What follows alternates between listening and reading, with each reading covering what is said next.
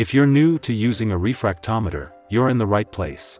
This video will guide you through the process of calibrating and using a refractometer to guarantee precise and consistent readings every time. First things first, let's talk about what a refractometer is. This nifty device measures how light bends, or refracts, when it passes through a solution. By looking at how much the light bends, we can figure out the concentration of the solution, such as the glycol content in industrial coolants or the concentration of solutes in chemical processing fluids. There are different types of refractometers, but today, we'll focus on the handheld optical refractometer, a popular choice for its simplicity and effectiveness. Before using a refractometer, calibration is key.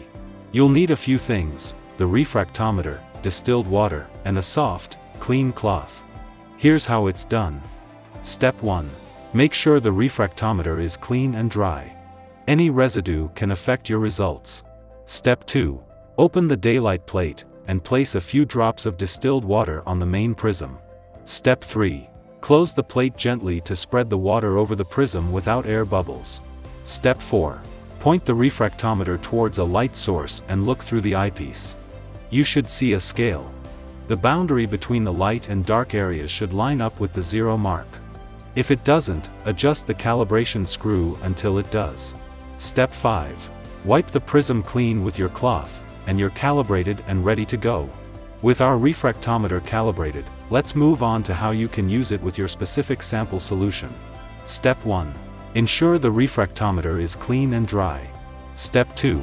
Place a few drops of your sample on the prism. Step 3. Close the daylight plate, again making sure there are no air bubbles. Step 4. Look through the eyepiece towards a light source. This time, note where the boundary between light and dark falls on the scale. This is your measurement. Step 5.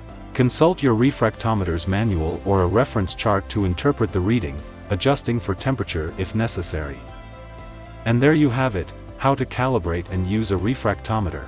With this tool, you can unlock a world of precise measurements and insights into your projects. I hope you found this tutorial helpful and enlightening.